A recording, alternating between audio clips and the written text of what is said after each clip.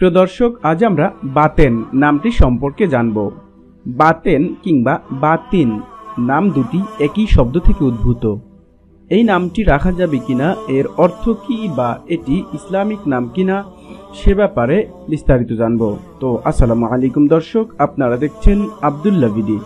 ইসলামে সুন্দর নাম রাখার ব্যাপারে বেশ তাগিদ দেওয়া হয়েছে। মুসলিম শরীফের এক হাদিসে এসেছে প্রত্যেক মানুষের উপর তার নামের প্রভাব পড়ে। তাই আমাদের উচিত সুন্দর, অর্থবহ ইসলামিক নাম রাখা।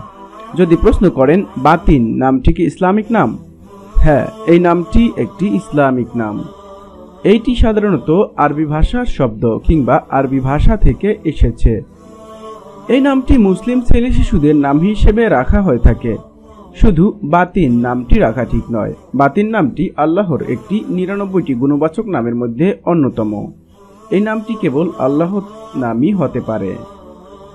আপনাদের নামের অর্থ জানতে কিংবা ভিডিও পেতে কমেন্টে নামটি লিখে সাবস্ক্রাইব করে রাখতে পারেন। মুসলিম শিশুর জন্য যে সমস্ত নামগুলো রাখতে পারবেন, তার মধ্যে এই নামটি একটি উল্লেখযোগ্য নাম।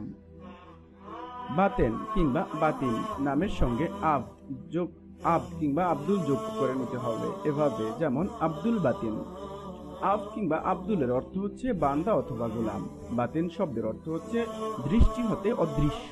আর আব্দুল বাতিন অর্থ দৃষ্টি হতে অদৃশ্য এর বান্দা কিংবা গোলাম।